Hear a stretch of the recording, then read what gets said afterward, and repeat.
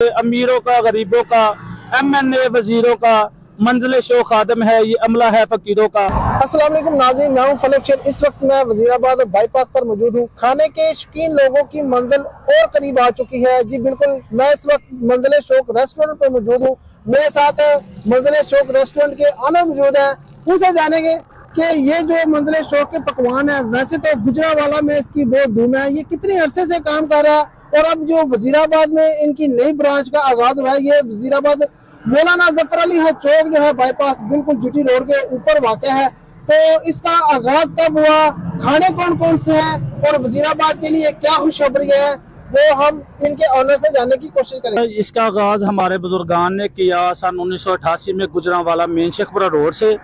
उसके बाद हमने एक ब्रांच बनाई, अल्हम्दुलिल्लाह, अवान चौक।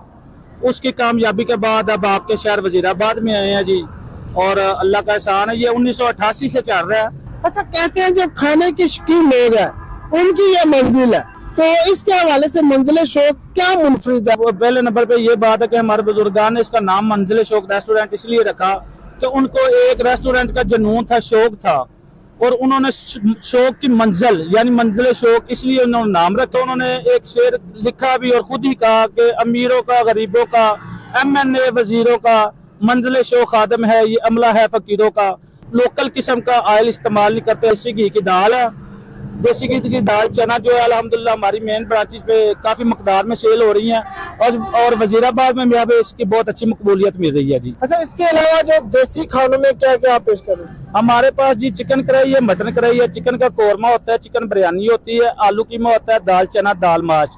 और बारबेक्यू की तमाम आइटम जिसमें आप चिकन टिक्का कह ले chicken kebab chicken cheese kebab chicken malai boti और तमाम बारबेक्यू की आइटम जो है हमारे पास मौजूद होती है। अच्छा सर्दियाँ भी चल रही है कुछ सर्दियों में भी कुछ स्पेशल है? हाँ जी अल्हम्दुलिल्लाह हमारे पास इस वक्त जो स्पेशल आइटम है ग्रिल फ़िश है फ्राई फ़िश है जिसमें हमारे पास बाम मुश्का और काला रो वगैरह मौजूद है। मिनिमम प्राइस मतलब जो पेट भर के खाना खा खाने की बात है हमारे पास दाल चना है हमारे प्राइस है एक सौ पचास रूपए उसके। उसके साथ अगर कोई इसी तरह जो हमारे पास है चिकन कढ़ाई हमारा वेट मुकम्मल होता है 900 ग्राम वेट होता है हमारा। सफ़ाई करके मुकम्मल जो एक सौ बारह सौ रूपए की सेल कर रहे हैं। अच्छा वैसे अगर मुस्लिम रेस्टोरेंट की बात की जो कढ़ाई आती हैं 700 ग्राम 600 ग्राम इसमें ये आप बता रहे हो 900 ग्राम? नहीं अल्हम्दुलिल्लाह देखे हमारा वज़न वो 900 ग्राम भी इस तरह होता है कि हम मुकम्मल सफ़ाई करके उसको साफ़ करके धो के जो उसको कटिंग करके जब तोलते हैं ना वो 900 ग्राम होता है। रेस्टोरेंट हजरात वगैरह जो है वो इस्तेमाल करते हैं 700 ग्राम चिकन 800 ग्राम चिकन लेकिन हमारे पास अल्हम्दुलिल्लाह ये हमारी एक आप स्पेशलिस्ट ही समझ ले क्वालिटी समझ ले कि हमारा वेट नहीं जी अल्हम्दुलिल्लाह हमारा अपना फार्म भी है, उसका एड्रेस भी अगर कोई लेना चाहे तो हमारे पास उसका एड्रेस भी है, हमारा फार्म भी अपनी है शॉप भी हमारी अपनी है। तमाम रेस्टोरेंट्स को सप्लाई हमारे अपने ही दुकान से होती है, जिसमें ताज़ा बिल्कुल चिकन होता है और हमारी रोज़ाना की डिमांड के मुताबिक होता है। हमारे पास किसी किस्म का स्टोर हुआ, माल नहीं मौजूद होता। हैदराबाद के हिसाब से हमारा एनवायरनमेंट माहौल, दूसरी ब्रांचेज से अच्छा है। ठीक है जी। उसके अलावा ये है कि हमारे रेट पहले ही बहुत मुनासिब है जिसमें बारह सौ रुपये चिकन कढ़ाई कढ़ाई हमारी उनतीस सौ रुपये में अगर इसमें आप व्हाइट मटन कढ़ाई करवाते हैं तो वो बत्तीस सौ रुपये है। और वेट आपको बताया कि वो पूरा 900 ग्राम होता है। देसी खानों और रिवायती खाने हमारे पास हैं। फ्रेश तैयार करते हैं हमें कस्टमर की चॉइस के मुताबिक। स्पेशल क्या है आपका? स्पेशल स्पेशल हमारा बारबेक्यू भी स्पेशल है और स्पेशल में कढ़ाई है हमारी। वाइट कढ़ाई होगी जल फरेजी होगी जिंजर होगी और मखनी हांडी होगी और मटन कढ़ाई है देसी देसी मुर्ग की कढ़ाई है और इसके अलावा काफ़ी आइटमें हैं जो चाइनीज़ भी हैं और पाकिस्तानी भी हैं। ज़्यादा लोग क्या डिमांड करते हैं आपसे जब यहाँ पे मंजिल शौक पर आते हैं? हमारे पास सभी चीज़ों की डिमांड है।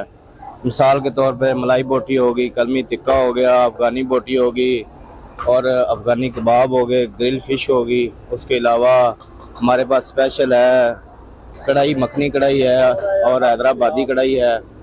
मटन भी है, उसके अलावा देसी है, इसके अलावा मंजिल शौक स्पेशल कढ़ाई, वो भी है। आप ज़रूर दोस्तों के साथ यहाँ पर ट्राई करें। इनकी कढ़ाइयाँ, इनका जो ये साथ ग्रिल फ़िश है, जो बारबेक्यू का निज़ाम है, वजीराबाद बाईपास मौलाना ज़फ़र अली चौक। ऊपर जब आप आएँगे तो आपको जो खाने के शौकीन लोग हैं, उनको मंजिल शौक रेस्टोरेंट बिल्कुल मुनफरद मिलेगा। फलक शेयर को इजाज़त है अल्लाह ने के बाद।